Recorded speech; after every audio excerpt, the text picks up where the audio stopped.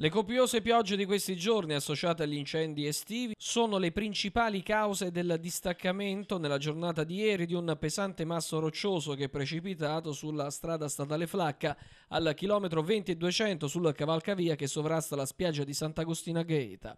Una situazione ad oggi sotto controllo che pone in risalto soprattutto la fragilità della fascia costiera che da Sperlonga si protrae verso Gaeta. Dissesto idrogeologico di un territorio che necessita di improrogabili interventi di messa in sicurezza. Ad oggi e per le prossime settimane però la litorania resterà interdetta al traffico, mentre il masso roccioso è stato rimosso nella tarda serata di ieri in località Vannella Mare, che dal territorio comunale montuoso di Itri è precipitato sfiorando dei mezzi pesanti in transito sulla sottostante strada che ricade nel territorio comunale di Gaeta. I massi, diversi e di grosse dimensioni, hanno sfondato la robusta recinzione in almeno due punti e dopo aver sradicato la vegetazione superstite dall'ultimo incendio estivo, hanno invaso la carreggiata e uno in particolare, dopo una carambola, è finito dopo una corsa di diverse decine di metri sul tratto terminale della spiaggia di Sant'Agostino. Se per puro fato si è sfiorata la tragedia, per il geologo perito dell'Astra, la dottoressa Paola Serangeli, l'ammasso roccioso calcare d'epoca mesozoica che si è distaccato è soltanto la punta dell'iceberg.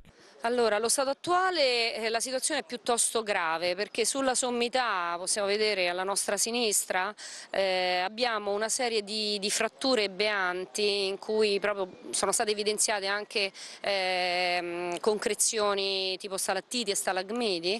che hanno permesso il distacco di un, di un volume consistente di roccia. Eh, la cosa che ci preoccupa molto è che alcune di queste fratture sembrano isolare dei cunei, dei cunei notevoli e che quindi sono a rischio di, di caduta. Eh, abbiamo già studiato la situazione in precedenza e eh, la proposta è quella di sostituire una rete paramassi che comunque ha fatto il suo dovere perché sia in questo evento che in quello avvenuto circa un anno fa, comunque la, la rete paramassi a ridosso della sede stradale ha funzionato. Eh, in questo caso i montanti sono stati proprio piegati, ma non divelti, non sfilati e eh, pur essendo appunto una rete paramassi ormai diciamo di vecchia, di vecchia generazione, quindi eh, poco resistente a queste energie insomma, che ha dovuto sopportare. Mm, comunque ha funzionato ma andrebbe sostituita, allungata e eh, sostituita con una Eh, rete paramassi di nuova generazione, quindi in grado di